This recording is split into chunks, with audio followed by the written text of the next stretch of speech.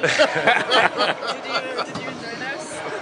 yeah, that was pretty good. I feel like you should be mic'd up at all times. Yeah. Did you, did you want your own show? Have For sure. Approached about your show? Yeah, plenty of times. You know, I'm um, you know, I gotta get the best offers. You know, so you know, I can't just go anywhere. I can't. I gotta take my talents to the best place. Yeah, you can probably produce it yourself. Get that credit.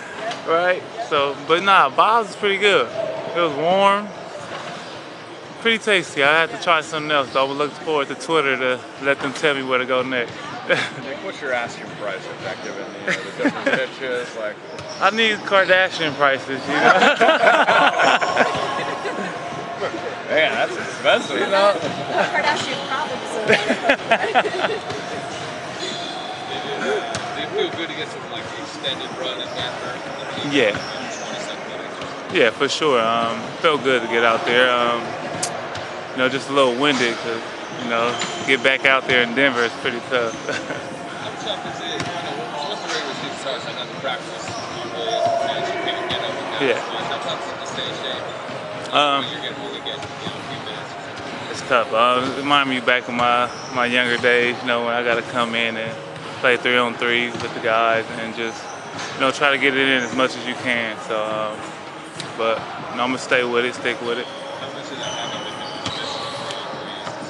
Um, pretty much there haven't been no off days for us. You know, uh, when they said no practice, we still got to come in and get you know lift and um, I try to get some conditioning in while I'm here and uh, work on my shots and all that too. And Nick, Steve was uh, real crazy. I mean, you know, you want to play uh, as many minutes as you can, but just you accepting the reality, not complaining. What's giving you that mindset to kind of Um, act that way?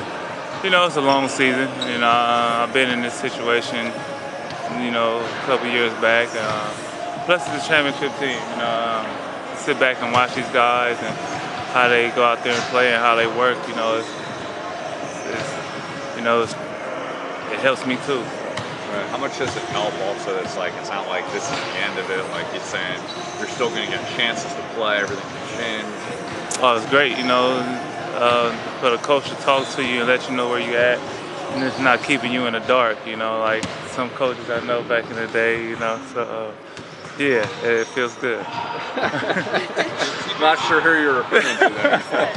Does he basically come to you before every game and like, hey, this is probably what's going to happen? Yeah, yeah. So uh, I'm not just going in the game blindsided, you know. Uh, so uh, he pretty much talks to me pretty much every day, harp on me about things I need to do and uh, different situations. So it's been good. Does he does he talk about his own playing experience about you know being in and out of the rotation in his own career? Yeah, for sure. Uh, talked about how um, got traded to a new team, been on different teams, and how he had to adjust to playing with the Spurs and playing with different teams, schools. So, you know, he's been great so far. Yeah, he's a, Uh, you played for a lot of coaches. Uh, can you tell us about uh, your experience with Steve Kerr? Maybe where he ranks among among you know coaches you played for. Um, you want me to say he laughed? nah, he's uh, probably at the top. You know, uh, I, uh, I had a couple good coaches in my day. But I also like Luke Walton too, so he was pretty cool. Um, but he learned from Steve. So I said I have to put Steve at the top. And D'Antoni, I like D'Antoni. Steve was also mentioning like his own playing career, just the reality of where he was in the NBA. Like he didn't always have opportunities to get shots. And, Yeah. You know that created challenges with not with game shots that you're not falling right away. How do you kind of fight out of that? What's kind of your perspective on that? Um, you know, my mindset is, is I gotta be the microwave when I get in. You know, um, I'm used to playing that six man six man role, uh, come in and scoring bunches. But you know, for me, I just gotta adjust the, the style of play first. Is it, is it a tough adjustment though being a guy who's been, played a lot of minutes in his career to not knowing necessarily day to day how much Yeah. you're gonna play? For sure, it, it's tough, you know, but um, it's an adjustment, you know. You know, this is the number one team in the league. You take a long view of that? Does it help you to think that this team could probably be in contention for the ring again? You play your part. Yeah, play your part. You know, um, been in this league for a while, so they pretty much know what I could do. I'm just trying to, you know, play my role and um, fit in where I can. You know, so.